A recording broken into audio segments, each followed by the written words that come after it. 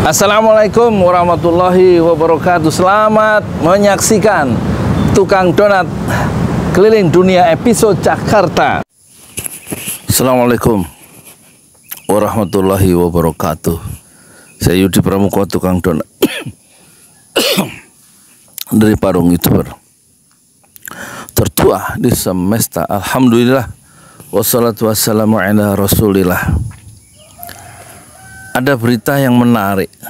Luhut Binsar Panjaitan menyatakan secara terbuka banjirnya tenaga kerja asing Cina itu karena kesalahan kita sendiri karena perusahaan-perusahaan Cina di Halmahera atau di perusahaan nikel di Sulawesi itu tidak bisa merekrut tenaga kerja Indonesia karena tidak sesuai standar yang mereka butuhkan.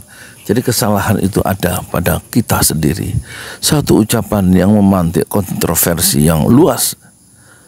Tidak seharusnya seorang pejabat setingkat menteri seperti Luhut itu membenarkan masuknya proyek Cina dan kemudian menyalahkan saudara-saudaranya sendiri orang Indonesia. Bukankah memasukkan tenaga kerja asing Cina adalah kebijakan kita. Kebijakan kita yang saya maksud adalah kebijakan pemerintah Indonesia. Berarti yang salah adalah pemerintah Indonesia yang membuat kebijakan sehingga membanjir tenaga kerja asing Cina. Luhut sendiri mengatakan jumlah proyek Cina di Indonesia ada 15.962 proyek, hampir 16.000 diikuti dengan tenaga kerja yang mereka bawa dari Tiongkok. Dengan standar gaji kata Faisal Basri mereka antara 17 juta sampai 50 juta menurut jabatan masing-masing. Tenaga kerja asing itu mengikuti upah-upahan standar internasional sementara Orang Indonesia yang bekerja di perusahaan Cina mengikuti standar UMP, upah minimum provinsi atau upah minimum regional. Jadi jelas ya, ada ketidakadilan di sana. Tenaga kerja yang melimpah dari Cina itu adalah hasil ya, dari kebijakan yang diambil oleh pemerintahan Jokowi dan Luhut sebagai Menko Marinvest uh, investasi ya maritim dan investasi tentu adalah melakukan satu blunder karena dia melakukan satu kebijakan-kebijakan dengan tidak memperhatikan lima janji proklamasi. Pertama, janji proklamasi di alinea keempat. Pembukaan Undang-Undang Dasar adalah melindungi segenap bangsa Indonesia. Masyarakatnya dilindungi supaya sejahtera, bukan justru menjadi menderita bekerja di perusahaan Cina karena gajinya yang tidak setara. Dua, janji proklamasi adalah melindungi segenap tumpah darah Indonesia. Eksploitasi yang gila-gilaan dari nikel itu akan habis dalam waktu 13 tahun dan tidak menyisakan sumber daya sumber daya alam nikel yang penting itu untuk generasi mendatang. Menurut Faisal Basri, ekonom yang tajam yang tadinya pendukung Jokowi dan segera bertobat karena tahu satu desain pembangunan yang akan menyengsarakan rakyat semua dia kemudian menjadi oposisi sampai akhir kekuasaan Jokowi mengatakan bahwa cadangan nikel di Indonesia sama dengan jumlah cadangan nikel di Australia yaitu 21 juta setengah ton nikel.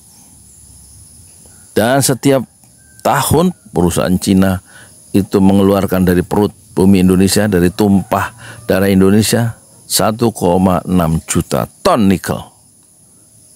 Jadi 21,5 dibagi 1,6 juta ton itu adalah habis nikel itu dalam waktu 13 tahun. Kesalahan siapa ini? Untuk kesalahan pemerintah, bukan? Membiarkan perusahaan Cina itu mengekspor 90% ke Cina untuk menghidupkan industrialisasi di Cina. Perusahaannya ada di Cina, tenaga kerja di Cina, sumber daya alam di Indonesia dan kita hanya mendapat sedikit. Tidak sebagaimana janji konstitusi yang mengatakan kita atau pemerintah negara Republik Indonesia dalam konstitusi itu mengatakan harus melindungi segenap tumpah darah Indonesia. Kerusakan lingkungan itu kita sudah lihat di video atau gambar-gambar tentang apa kerakusan perusahaan nikel Cina merusak alam lingkungan. Itulah yang akan dinikmati kerusakan itu oleh generasi berikutnya. Dan ketiga janji proklamasi perlu kita sampaikan kepada Luhut Binsar Panjaitan adalah memajukan kesejahteraan umum. Apakah penduduk-penduduk itu sudah sejahtera? Dengan gaji standar UMR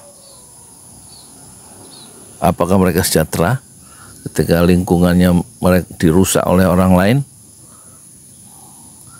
Dan yang keempat janji proklamasi adalah mencerdaskan kehidupan bangsa. Dan kelima ikut dalam perdamaian dunia berdasarkan kemerdekaan, perdamaian abadi dan keadilan sosial.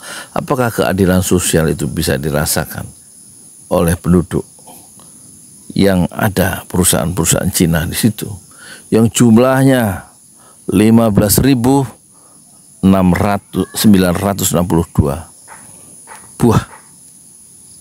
Jadi ucapan sungguh harus ditarik oleh Luhut bahwa banjirnya TKA Cina itu adalah kesalahan kita. Tidak, bukan kesalahan masyarakat Indonesia, tapi kesalahan rejim yang Luhut Binsar Panjaitan ada di, di dalamnya dan dia harus bertanggung jawab terhadap kebijakan yang keliru dan merusak lingkungan serta menghabiskan sumber daya alam Indonesia sendiri. Mungkin ketika 15 tahun kemudian motor listrik mulai ada merayap di jalan-jalan Indonesia dan juga mobil listrik yang memerlukan baterai dari nikel itu mungkin nikelnya sudah harus diimpor karena tidak ada lagi nikel di Indonesia. Itulah kebijakan yang bukan salahnya rakyat Indonesia, bukan salah saya, tapi salah orang yang punya kekuasaan. Dan bagian dari kekuasaan itu adalah Luhut Binsar Panjaitan. Saya Yudi Pramuka, tukang donat dari Parung Youtuber. Tertua di semester Fasbir Sabr Jamila. Bersabarlah dengan kesabaran yang indah Assalamualaikum warahmatullahi wabarakatuh.